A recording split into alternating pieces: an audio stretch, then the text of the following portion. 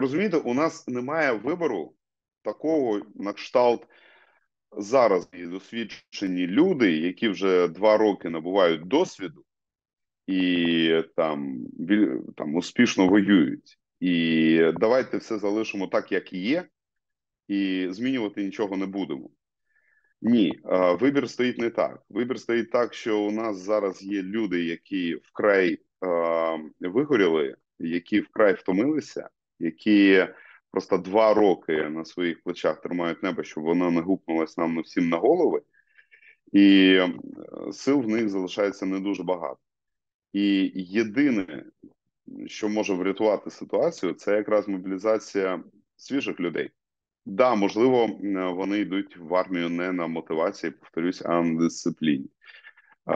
Не тому, що хочуть, а тому, що потрібно.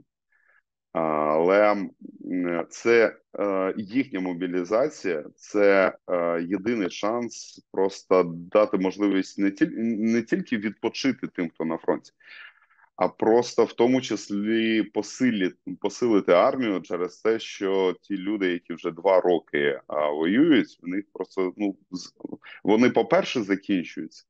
А по-друге, в них е, закінчується внутря, внутрішня власна спроможність, тому що люди не залізні, люди не роботи.